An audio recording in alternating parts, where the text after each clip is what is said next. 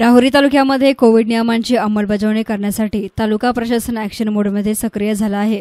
नियमांचं उल्लंघन करणाऱ्यांवर दंडात्मक कारवाई सुरू करण्यात आली आहे. तर काही महाभागांना लाठीचा प्रसाद देखील देण्यात आला आहे गुरुवारी दुपारी शहरामधील नवी पेठ शनी मंदिर परिसर तसेच नगर मनवाड राज्य महामार्ग परिसरामध्ये संपूर्ण तालुका प्रशासन रस्त्यावर उतरले आहे. श्रीरामपूर उपविभागीय अधिकारी दयानंद जगताप तहसीलदार फसिद्दीन शेख पोलीस निरीक्षक नंदकुमार दुधाळ मुख्याधिकारी श्रीनिवास कुरे नायब तहसीलदार गणेश तळेकर यांच्यासह महसूल पोलीस नगरपालिका अधिकारी कर्मचारी यांच्या संयुक्त पथकाने रस्त्यावर उतरून मास्क न वापरणे सामाजिक नियमांचे उल्लंघन करणारे मोकट फिरणाऱ्या नागरिकांवर दंडात्मक कारवाई केली. यापुढे देखील या आजाराचा प्रादुर्भाव वाढू नये यासाठी नागरिकांनी सहकार्य करून नियमांचे पालन करण्याचं आवाहन तालुका प्रशासनाच्या वतीनं करण्यात आले याप्रसंगी प्रांताधिकारी दयानंद जगताप तहसीलदार फसिद्दीन शेख पोलीस निरीक्षक नंदकुमार दुधाळ यांनी आपल्या प्रतिक्रिया व्यक्त केल्या. लॉकडाऊन संपलेला आहे. परंतु जे करोना अजून संपलेला नाही आहे करोना संपलेला नसल्यामुळं आपल्याला करोनाचे जे नियम आहेत मास्क लावणे सॅनिटायझरचा वापर करणे गर्दी न करणे सोशल डिस्टन्सिंगचं पालन करणे याचं पालन करायचं आहे. ही दुसरी लाट संपलेली नाही आहे अजून आणि अजून तिसऱ्या लाटचे पण वेध लागलेले आहेत. आता दोन ते तीन महिन्यामध्ये आता एक एक्सपेक्टेशन असं आहे की त्याच्या आधीच तिसरी लाट येण्याची शक्यता आहे. त्यामुळं आपण त्या दृष्टीने सजग राहणं गरजेचं आहे. सोशल डिस्टन्सिंगचं पालन करून करोना नियमांचं पालन करून आपल्या रावरी शहरामध्ये कमीत कमी पेशंट मिळतील.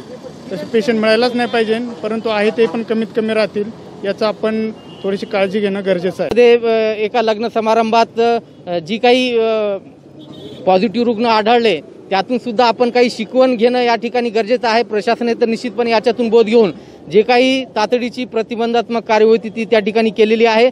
आमची सगळ्या तालुक्यातील सर्व नागरिकांना विनंती आहे का आपल्याकडे जर लग्नाचा जर कार्यक्रम असेल तर यापुढे आपल्याला संबंधित स्थानिक स्वराज्य संस्थेची परवानगी घेणे आणि तशा पद्धतीने पोलीस स्टेशनला त्या ठिकाणी कळवणं आपल्याला बंधनकारक असणार आहे.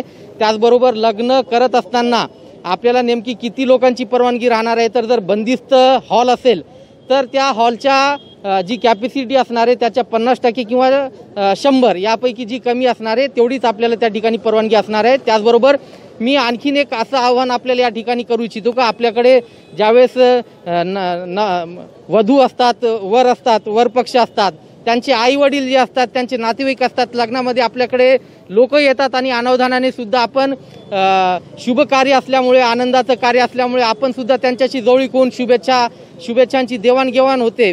त्यामुळे माझं सर्वांना परत एकदा वधू पक्षातील आणि वर पक्षातील जे काही जवळचे नातेवाईक असतील त्यांना असं आव्हान असणार आहे का? त्यांनी कृपया लग्नाच्या पूर्वी एक ते दोन दिवस अगोदर आपली R T P C R चाचणी त्यांनी करून घ्यावी.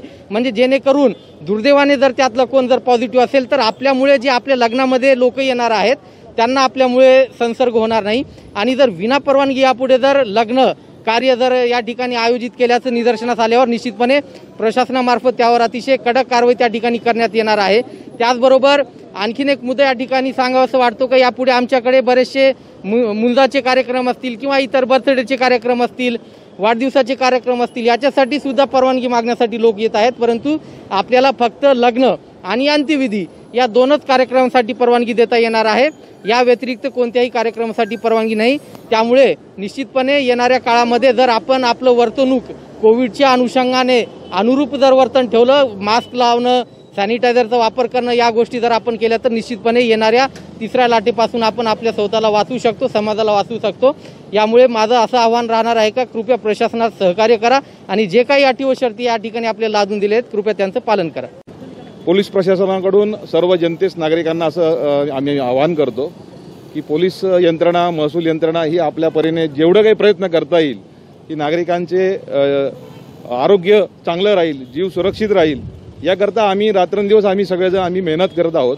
परंतु नागरिकांची पण कुठेतरी एक जबाबदारी आहे की त्यांनी सुद्धा नियमाचं पालन करायला पाहिजे. विनाकारण बाहेर फिरणं विनाकारण मास्क लावून रस्त्यावर फिरणं याच्यामुळे रोगाचा प्रसार वाढणार आहे आणि तुमच्याच जीवाला धोका निर्माण होणार आहे. तर आमच्याकडून आम्ही असं आपल्याला आवाहन करतो की आपण स्वतःही एक जबाबदार नागरिक म्हणून आपण नियमांचं पालन करा आणि विनाकारण बाहेर फिरू नका. बाहेर फिरताना असे मिळाले तर आमच्याकडून नक्की शंभर टक्के तुमच्यावर दंडात्मक कारवाई जी काय प्रशासकीय कारवाई आम्ही ती नक्कीच करणार. पण त्यासाठी आपणही एक जबाबदार नागरिक म्हणून आपण सर्वांनी आम्हाला सहकार्य करावे अशी मी सगळ्यांना विनंती करतो. News reporter Govind Phunge S nine media Rahuri.